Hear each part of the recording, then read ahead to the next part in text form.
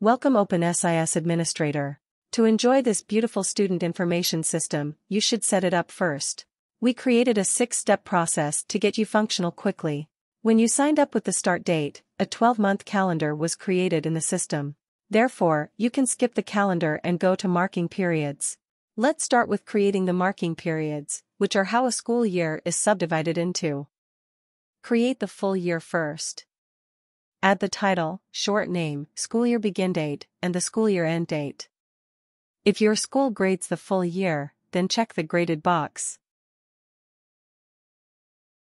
Enter the grade posting begin and end dates. This is the time period when the teachers are allowed to enter grades. If an annual exam is taken for the full year, then check the exam box. Checking the comments box will allow the teachers to enter a comment. Click on the Submit button to save the marking period. You have now created a full year marking period. Follow the same pattern to create semesters and quarters. You can create unlimited marking periods within the full year. If you have summer term, you can create it at the same level as the full year so that the summer term can start after the academic full year. In this example, we have created a full year and two semesters within the full year.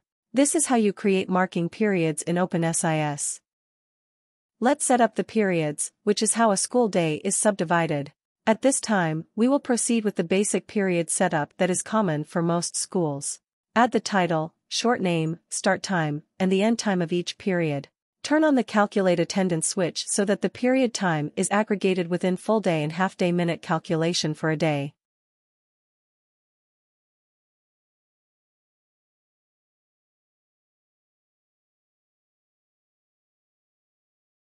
Create the required number of periods your school has for a given day. You will be able to edit the full day and half day minutes anytime. Next, you need to create the classrooms. Make sure the active switch is turned on. Add the title, capacity of the room, sort order and the description. Click Submit to save. Repeat the process to create all the physical classrooms that are in use in your school. Now, we are going to create the grade levels for the school. When you enter student data, these grade levels need to be associated with those records which will tell the system which grade each student is enrolled in. Enter the title, short name and sort order. Then select the grade level equivalency from the drop-down menu. This value maps your school's grade level title to a standard grade level. Then enter the age range and educational stage.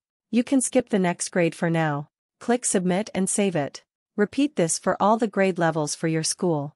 You can then go back to the items and enter the next grade which is the progression of a student for promotion. We will finish the school setup by creating the report card grade scale. If your school uses letter grades then complete this step, otherwise you can skip it. Enter a grade scale name, scale value. In USA, most schools use a 4.0 grade scale value.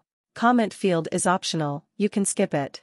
Turn on the Calculate GPA toggle switch so that the grades are calculated in GPA and cumulative GPA. Click Submit to save it. On the right side you will see a panel to enter actual report card grading items. In this example, we will follow the standard American high school grading system. Enter the title, break-off value, weighted GP value, or unweighted GP value. Use weighted if the course is an AP or college-level course. Otherwise just use the unweighted field. The comment field is optional. Click Submit to save.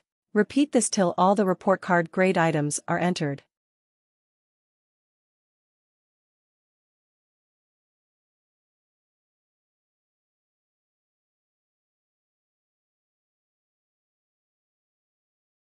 You have now completed the first step, which is the school setup.